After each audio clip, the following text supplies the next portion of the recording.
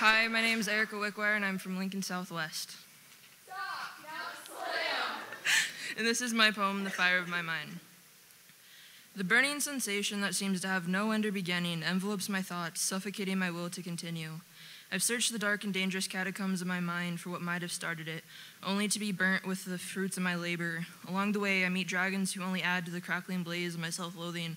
When I think I have finally found water, I jump in only to be burnt again by the pure acidity of trust it holds. When I think I have finally discovered the end, I open a door, allowing oxygen to seep right in, fueling the inferno of my exhaustion. When I think I have finally climbed high enough to escape the heat, I lose my grip and fall back into the devouring flare of my thoughts. I think I'm the only one affected by the scorch, until I stumble upon the bodies of the people who have tried to rescue me, reliving the memories. I can't do this, I just can't. Not anymore, not with the way it's gone so far. I walk past a door I have passed a million times, but never opened in fear of fueling the fire.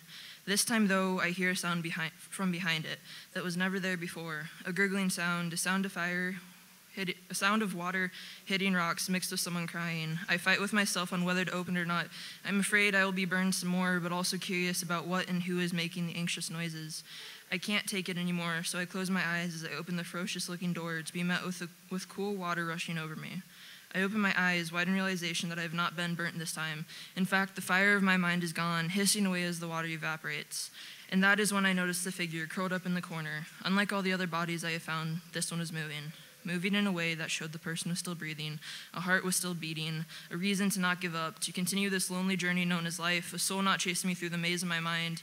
Instead, someone to help me conquer the dark caverns of my mind, someone to slay the monstrous dragons of doubt, to cross the acidic rivers of hatred with, to explore the grand rooms of fear with, to climb the slippery slopes of success with.